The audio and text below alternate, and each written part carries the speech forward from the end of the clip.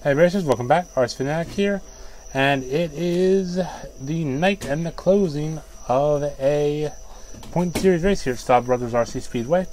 And I know some of you're thinking, oh, wait a second, you didn't do an opening, what happened? Um, I really got taken here and thrust right into work, so yeah, didn't happen. Um, sorry, I apologize about that, but I did want to make the closing to keep you guys um, not completely in the dark and give you guys some winners, as well as the point series been updated tonight to reflect tonight's race. So I can give you that too. So, without further ado, today we had 42 entries, or 43 entries, sorry, and the winners are as follows. In the 17.5 stock sprint category, KZS takes the first place spot with Andy Phelps in second and Zach Swanser in third. In the 21.5 late model class, we have Louis Pavlovic taking the first place out with Gary Miller in second and Mike Reinhardt in third. In our stock Mud Boss class, we have Daryl Welk Jr. taking the first place out with Dan Snuffer in second and Jason Miller in third. In our 13.5 Mud Boss class, we have Zach Swanser taking the first spot with Nathan Staub in second and Emmett Balger in third. In our 17.5 Open Late Model class, we have KCS taking the first spot with Justin Miller in second and Marcus David in third. In our Mod Sprint class, we have KCS, again, no surprise there, with Justin Miller in second and John Dewey in third. So congratulations to those winners.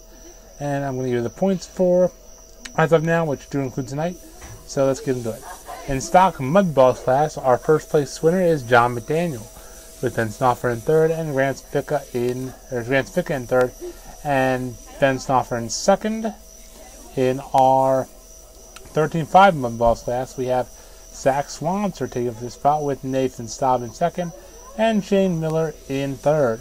In our 21-5 late model class, we have Kevin Markle taking the first place spot with Gary Miller in second and Joe Main in third. With our 75 open late model class, we have Casey Hess with the first place spot with Guy Delsano in second and Nathan Staub in third. In our 75 stock sprint category, we have Casey Hess again with the first place spot, Eddie Phelps in second, and Zach Swanser in third. In our mod sprint class, we have a name we've heard too much today, Casey Hess first place, Stan Shopford second, and John Dewey in third. So congratulations to those winners. Now remember, um, at the end of the season it may be different because at the end of the season we'll throw out your two lowest results or no shows. That hasn't happened yet. So, but that is how it is right now. So congratulations to the winners. Good luck to the points, guys.